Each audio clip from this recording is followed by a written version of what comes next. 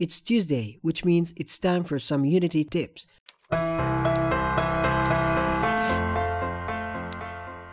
Bismillah ar-Rahman ar-Rahim. Assalamu alaikum wa rahmatullahi wa barakatuh. Hi everyone and welcome. This is Omar Balfaqih and today I'm going to share with you 5 useful tips for Unity. Why today? Because every Tuesday the great community of Unity developers they share some useful tips on Twitter. You can just go and search the hashtag Unity tips. Plenty of useful tips there. Alright, so let's get started.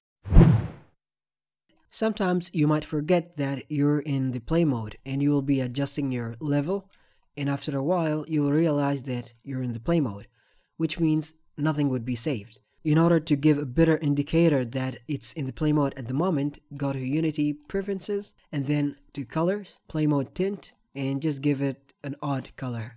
Let's say red for example. So when you hit play, you could know that you're in the play mode, so you would never make a mistake let's say you're in the play mode and you moved few things and you decided to keep them. One of the solutions is you just go to the component you changed, you go to the gear icon, copy component, and then go back and then stop the play mode and go to the same object to its component and then paste component values. And ta-da, here it is. Another thing is if you want to focus on an object, simply click the object and then F. But let's say the object is moving you could hold shift F and now whenever you move it, it's focusing on that object, even in the play mode. You can navigate through your level using the arrow keys, but if you want to have more control like looking around, just hold down the right mouse button and then use the WASD keys to move around and then just move the mouse to look around. And here you go, you're flying through your level.